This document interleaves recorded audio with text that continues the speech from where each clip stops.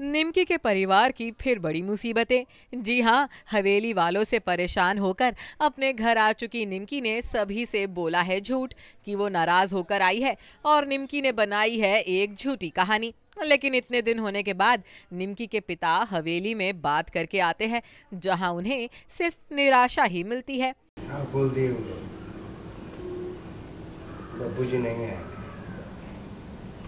हाँ। का ज़रूरत का था। यही बात पे तो नाराजी सबसे ज़्यादा बढ़ती अरे तो भैया आप समझाते उनको। क्या समझाया जाए क्या समझाएँगे भाई? सुनना जी देख सुनने को कुछ तैयार नहीं हाँ तो अनारो जी को मरचाई लग गया है। तो भड़कवे न करेंगी लोग क्या बोले? बोले क्या? तो बोले जाओ ले दो। निमकी। निराश पापा सभी को ये भी बताते हैं कि बब्बू ने भी निमकी को ले जाने से कर दिया है साफ़ इनकार। और ये बात सुनकर निमकी के दिल को लगती है ठेस और फिर निमकी अपने पापा के वहाँ जाने पर करती है सवाल।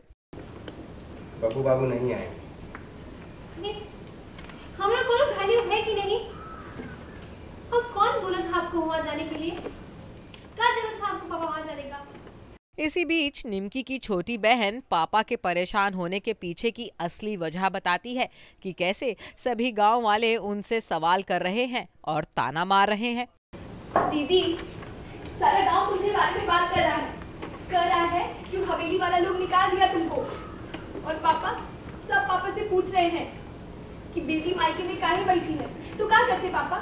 जाते नहीं का पूछने? कि गाँव वाला लोग कौन होता है? ये पूछने के लिए कि हम तो मायके से कब जाएँगे और कब नहीं। लेकिन निमकी, अब ज़्यादा देर तक परेशान तो रह नहीं सकती। तो बस तभी वहाँ आ जाते हैं टुंडे और निमकी को मूवी पर ले जाने के लिए मना लेते हैं।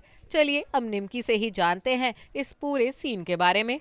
आ, तो अभी हुआ जो सीन वो ये है कि बबू आने से मना कर देते हैं कि मैं पिकअप नहीं करने आऊँगा। और असलियत मेरी फैमिली को पता नहीं है कि एक्चुअल में ससुराल में क्या हो रहा है बट उसने आके सबको यहाँ पे ये बताया कि वो बहुत खुश है। बबू जी को हम मना रहे हैं। वो बस यही चाहते हैं कि दो दिन और एक्स्ट्रा मैं यहाँ पे स्पेंड करूँ आप लोग के साथ। तो बस ये निमकी झूठ बोल रही है और निमकी बस ये बोलना चाहती थी कि पापा को चिल्लाती है कि आप क्यों गए? मतलब आपका कोई वैल्यू नहीं है क्या? और आपको नहीं जाना चाहिए था। तो अभी एज यूजल सीन इतना सीरियस चल रहा है अचानक से टुन्ने आता है मूवी का टिकट लेके और टुन्ने उसको बोलता है कि मूवी देखने जाता है सलमान खान की। पहले तो वो जवाब नहीं देती पर एंड में बोलती थी कि बब्बू जी तो नहीं आ रहे तो चलो मूवी देखने ही चलते हैं।